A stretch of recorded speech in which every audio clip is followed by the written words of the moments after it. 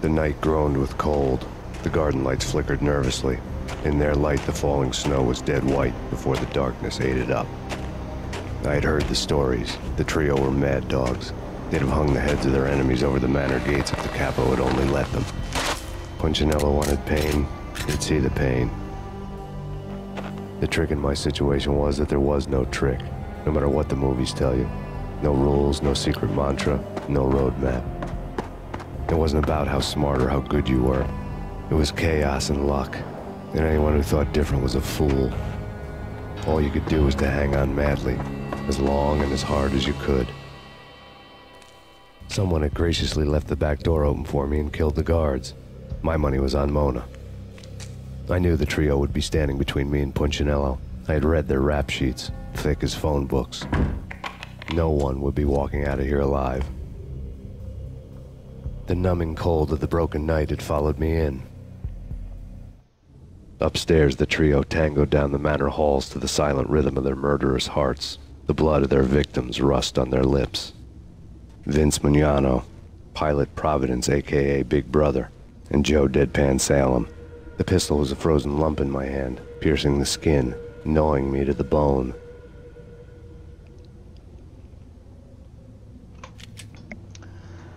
Alright, everyone, welcome back to Max Payne. Let's go.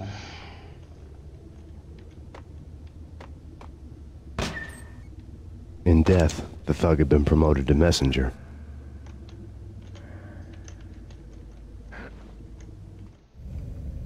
Someone hadn't enjoyed the Don's hospitality. Someone with a flair for the dramatic. Someone who had let herself out of a locked cell and passed a couple of armed guards. My thoughts were on Mona again. I could only hope she was a good enough gambler to walk away while she was still winning, before she'd run into the trio.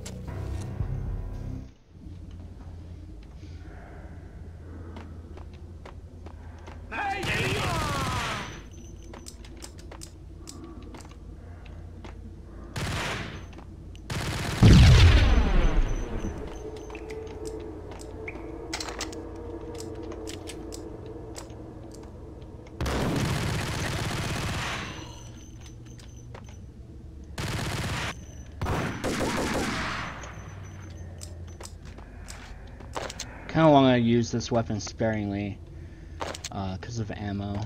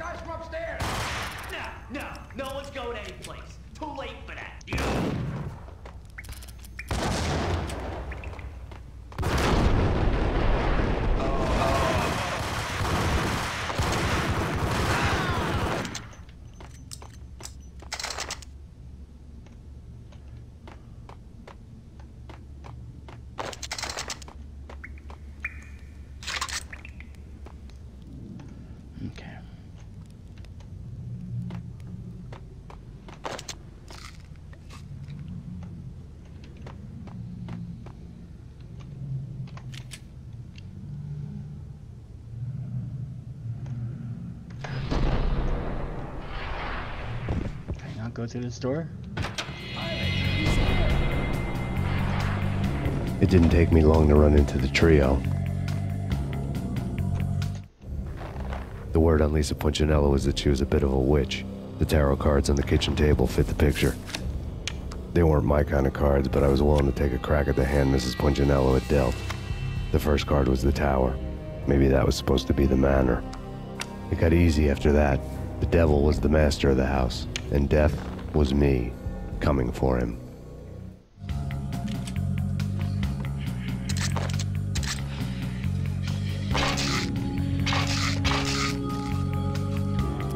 Wait a sec for those to work through. I will switch to the commando to fight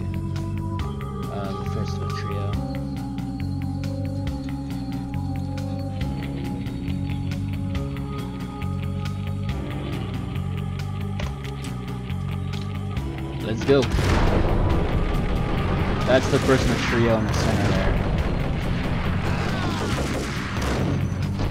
He was actually the first one to die. And I was not far behind him. Let me try with dual impulse.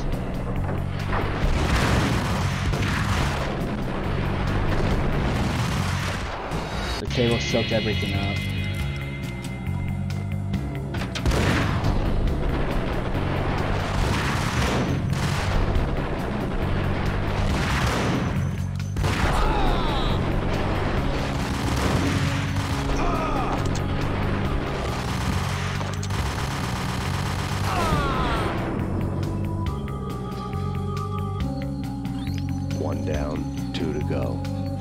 Surprised I survived that. I was. Oh. sh- Don't kinks it.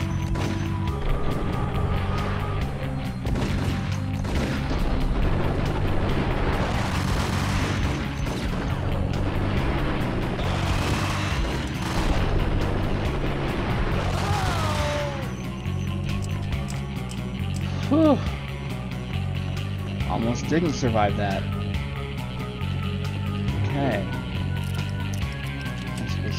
Go speed back to Doveretta's. Wait for that to hit the line.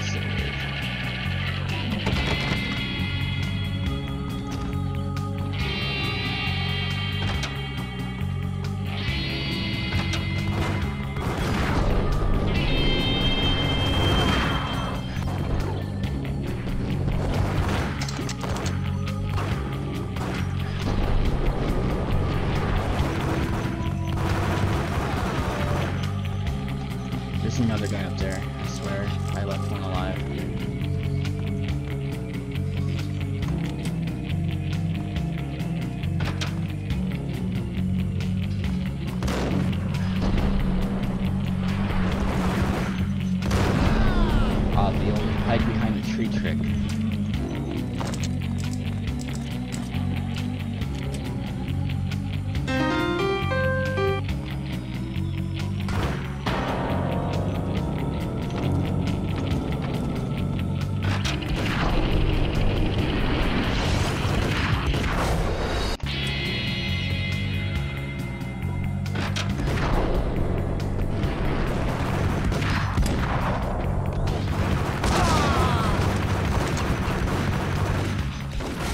I couldn't see because of the camera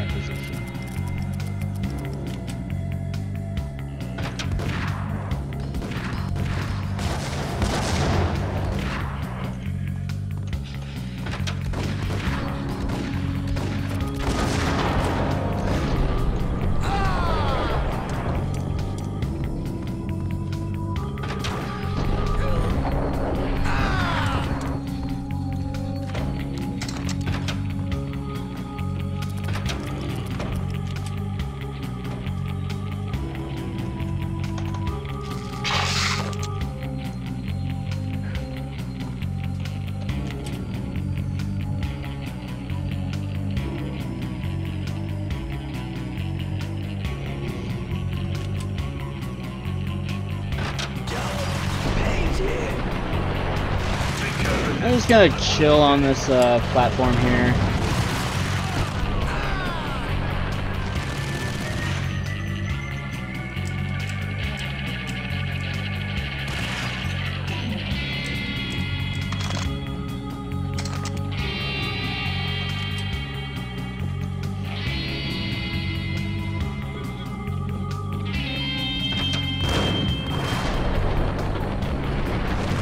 That's one of the trio there.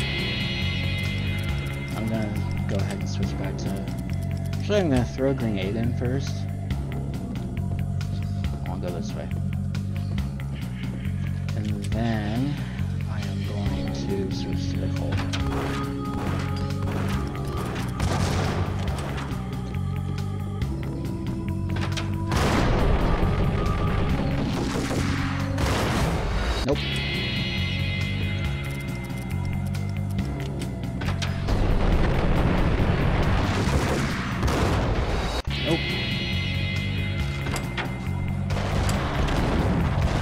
Oh, I didn't switch from the grenade.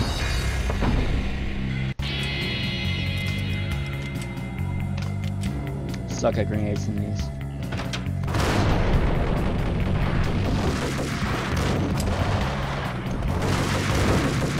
And I have no cheap dodge. Did he pistol whip me?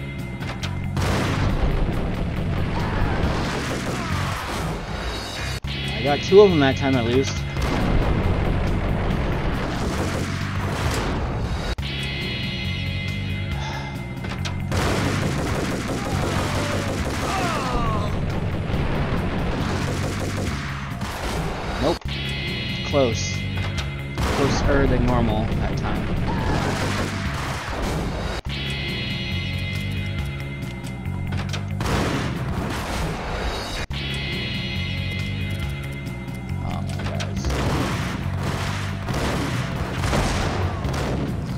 Sounds like I at least got one of them.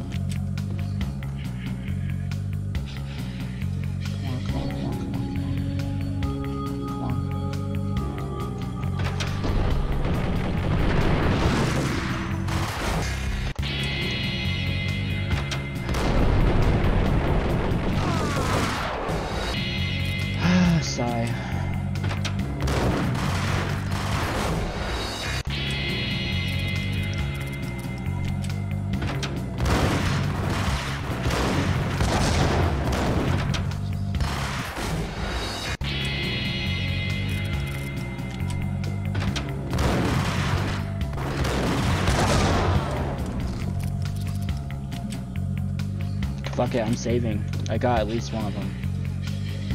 And didn't use any bullet time. I got I got two of them. So it's just the member of the trio left.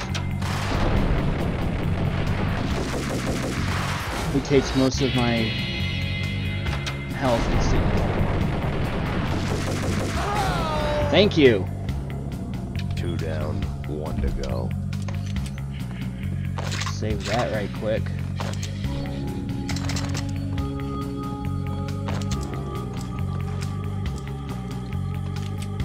One more member of the trio left. That's my game.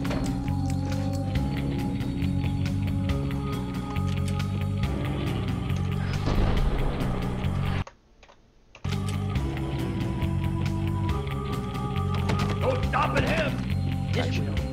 Anything. Take cover. That's what I was looking out for.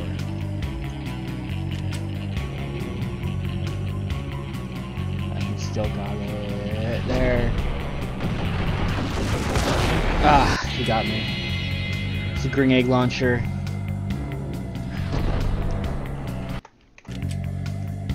It's the only Max Payne game where you can get an explosive projectile. They removed the grenade launcher from Max Payne 2, and then Max Payne 3 removed the grenades and the Molotov, so you had no explosives in Max Payne 3 at all.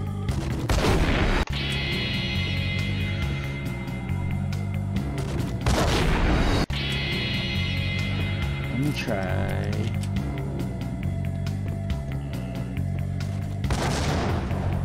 Oh, no, no, no, no.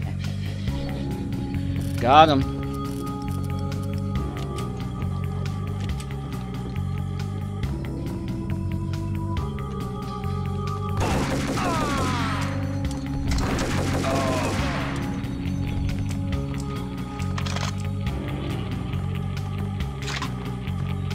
M79 is the grenade launcher.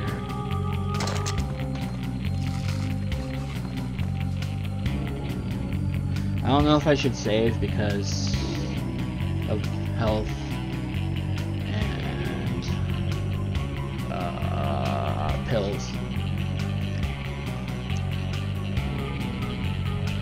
I'm not going to. I'm just gonna go through the door.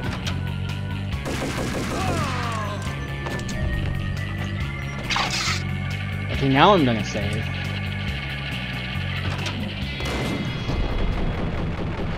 It was too late for her.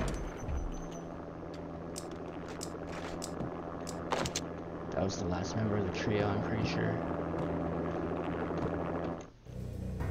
You're a real angel, Max. I couldn't tell whether it was Mona or her sister. The body was a mess. The sick bastard had really gotten a kick out of it. Seeing her lying there got me thinking about another woman's body on another bed. Got me thinking about a fallen cradle.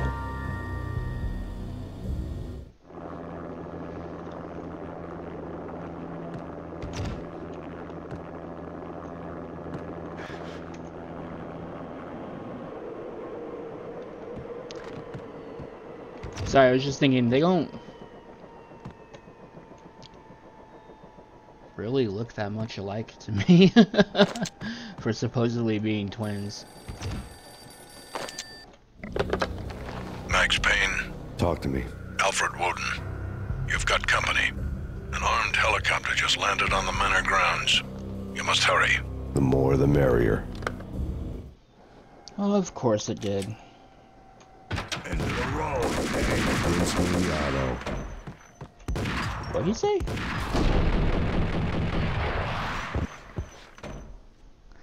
Oh, I think this is the last member of the trio.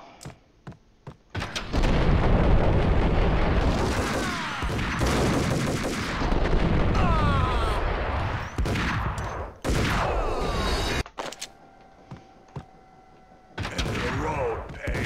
Vince Mugnano.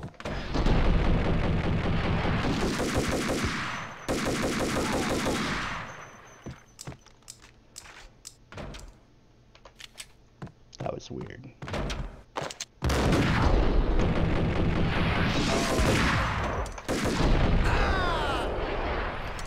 Punchinello's trio was done for. Yay.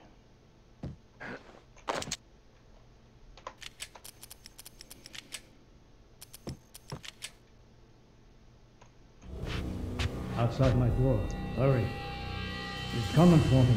You gotta hurry. Please. I could hear Punchinello on the phone begging for help. He should have been saying his goodbyes. Punchinello was a pushover. The moment I stepped into the room, he folded like a deuce before a royal flush. No, wait. I was just doing what I was told. I couldn't refuse. She's someone high up. Government, maybe. I don't know. He was trying to buy more sand for his hourglass. I wasn't selling any.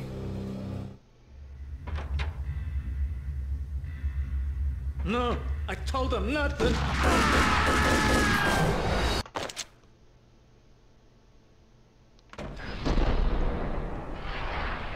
Gotta do all that again.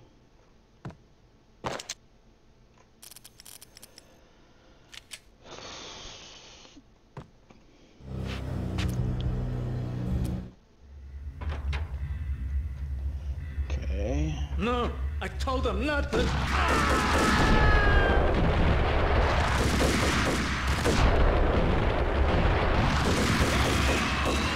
Okay, so these guys have carbines, so I can, s- when it's safe to do so, I can switch back to using the carbine. Or Colt Commando, sorry. I guess carbine's a different game. I don't know.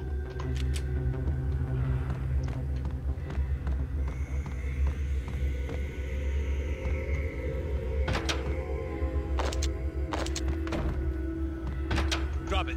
Don't move. Game over, Max Payne. That's the name of the game. I could tell when I was outgunned. It was time to take another beating. The mystery witch was a real barracuda. Trouble on dagger heels, a smoking assault rifle in her hand, and an army of killer suits behind her. How sweet. I get to kill two birds with one stone. Sooner or later, it was going to catch up with you.